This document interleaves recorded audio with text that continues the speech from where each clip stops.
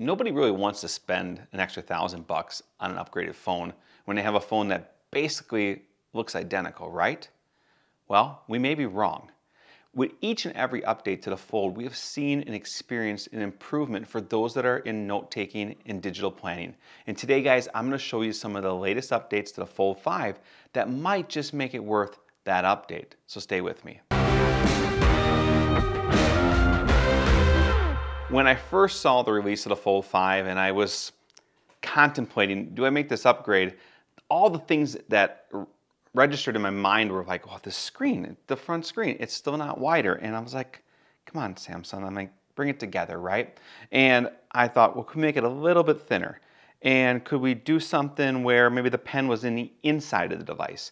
And all these things kind of like chalked up to this like, ah, this Fold 5 really isn't worth it. Well, then it was delivered, and I started to look at this device and my Fold 4, and I started to use it, and I started to think of all the slight modifications and improvements.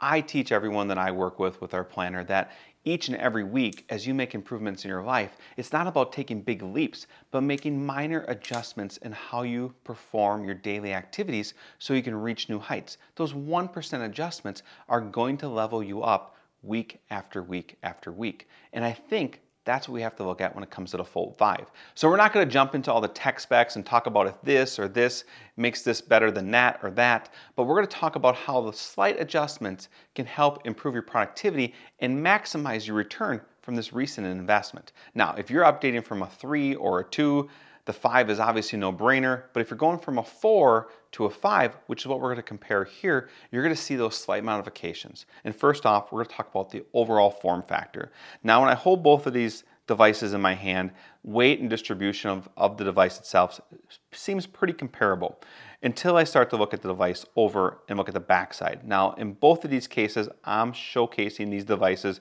utilizing the S Pen. Now, this case here, you can see is slightly thinner because it doesn't have the bulk of last year's S Pen.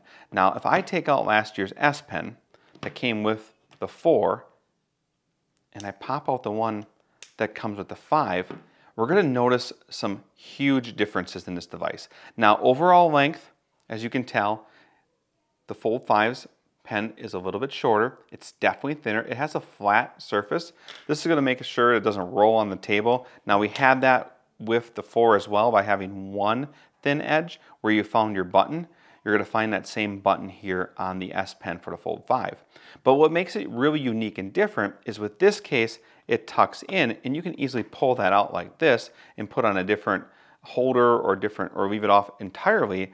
But with this case that you can get from Samsung is this pen tucks right into here. And what that's going to allow you to do, especially when you're putting this in your pocket or laying on the table, this lays nice and flat. This has a bulge to it. And that's one thing I really hated about this device is I'd put this in my pocket and I'd have like this pencil running down the side of my leg, or if I was wearing shorts, it just seemed bulky. Now granted, we are looking at a foldable phone that is generally bulkier than most uh, smartphones out there, but this improvement alone definitely makes this device something you're going to appreciate when it's on your carry.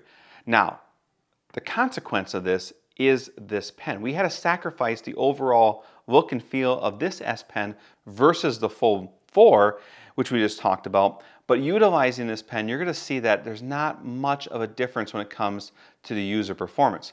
One thing I wanna note, this is a mobile device. This is not your tablet or your desktop, so you have to think about ease of mobility when you're looking at this particular S Pen and this particular device in general. The last thing I wanna note to you is now that this device here actually folds flat. Now I think with this hinge improvement, we're going to see an improvement actually in the device itself. But let's look at the Fold 4 first.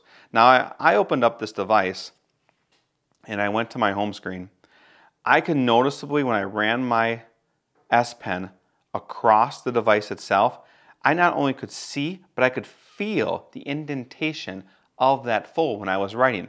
Now, when this technology was first introduced in the Fold 3, you were able to draw a straight line across the fold, even though you felt that indentation. If you zoomed in real close, you might see a little bit of a bump or a groove where, where you made or placed that line. But overall, for what it was, it was really impressive.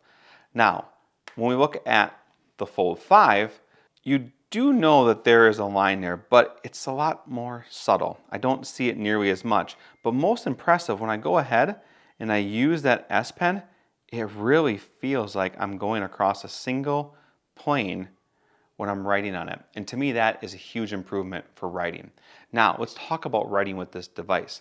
The overall tip, if you compare them real closely between the two of them, you're gonna notice the actual tip is very, very similar, almost identical. It looks like the overall, I mean, I'm not no rocket scientist. We're just gonna call it the same, okay? It's the same tip. So the real question though is does the change in this S Pen change your ability to be productive when you're using it in a note-taking app, such as OneNote, for example. Well, I'm in OneNote right now. I'm gonna go ahead and activate the highlighter here. I had a really, really incredibly long lunch today. Okay, that's really not the case. I don't even know why I planned for a two hour lunch, but anyway, it's in there. Matter of fact, I'm gonna go ahead and erase that because that's not the truth. We're gonna go ahead and change that. We're gonna move that to a one hour lunch and we're gonna make sure that was at daily grind. And then we're gonna reblock that time here just by highlighting it. So you can see that overall my ability to go ahead and use this device, use this S Pen to write, really hasn't changed. Matter of fact, being able to write over that line is actually a small improvement. The other thing that I really like, the fact is I don't have that bump from the S Pen, from the Fold 3 and 4, is I can easily change this to a landscape mode and write on it. So going ahead and writing here, how is your day? So other than OneNote, there's several different note-taking applications that you can use with this device. I recommend OneNote, I recommend Samsung Notes, and I recommend Penly. Those devices working with Android are remarkable for writing. And with OneNote, you can synchronize these notes across all your devices, Windows, Apple, and Android. With Samsung Notes, you can synchronize it across all of your Samsung devices. And with Penly, you can synchronize it across all of your Android devices. In an upcoming video, I'm also going to show you those same applications and how they work on the Samsung S9 tab. And there's a couple different variations to that, but the functionality of the applications on that tablet is absolutely remarkable and it's going to help you not only take notes, but be able to store and recall those notes for tomorrow, future weeks, and future years. Absolutely brilliant. So looking at this device, talking about some of the small improvements that we've seen. So the question that we're trying to answer here, is the Fold 5 worth the upgrade? And first off, if you're coming from a Fold 2 and never used a stylus and had a mobile device on your carry that you could take notes wherever you are, boom, boom, boom, absolutely. Run to the store, pick it up today, you're gonna love it. Promise you that. If you're coming from a 3 or a 4, that's where we start to ask some questions. And I'm gonna be the one to tell you first and foremost, those minor adjustments from the three to the five, definitely worth the upgrade. Coming from the four to five, if you're a tech guru like myself and just love having the latest and greatest, definitely go for it. If you're a heavy note taker and you're on the go constantly, I can promise you that this pen and the little bit of improvement that we see in the screen is definitely gonna make its worth its weight in gold over the course of the next year or two that you might use it. Now, for all the disadvantages and things out there that we didn't see as upgrades, I don't use this device to use the front screen. Yes, I do make phone calls and I do check some messages on here, but I don't find myself in a mode of productivity. So the screen not being any wider is not really a real inconvenience to me because I find myself whenever I'm in a mode of working, checking emails, responding to things, I'm in this folded display mode where I have a lot better access to being able to type and write and the split screen on here is absolutely amazing. If you've learned just one thing from this video, do me a favor, hit the like button, subscribe to our channel, is we're gonna dive into this device and how you can really make a return, how you can really utilize these different applications for productivity and improve your daily planning or just note-taking ability across this device and across the entire e-ink ecosystem. And if you want to follow us and want to learn more about our planner, go ahead check out key2successplanner.com. Guys and gals, Lord willing, I will see each and every one of you in the next video. Peace to you all.